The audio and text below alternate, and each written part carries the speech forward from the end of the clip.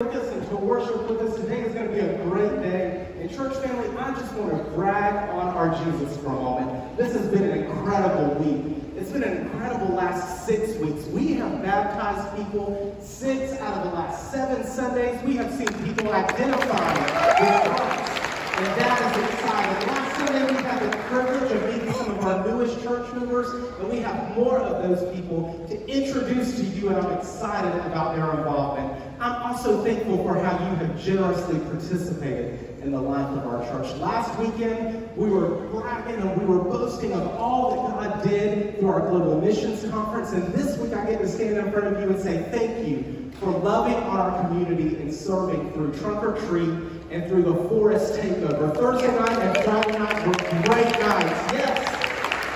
So thank you, thank for the way that you have served and loved on our community. I love to watch our church in action.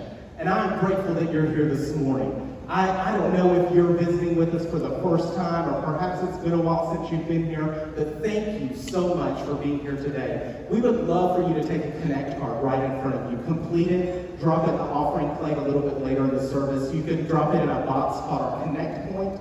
That's in any of our main foyers.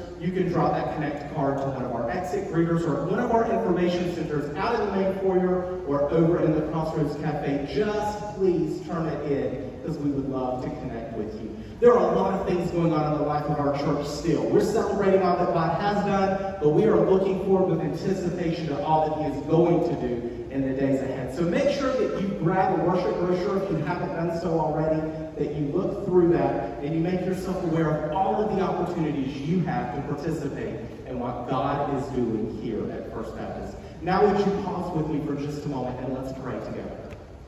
Father, we love you. And we are so grateful.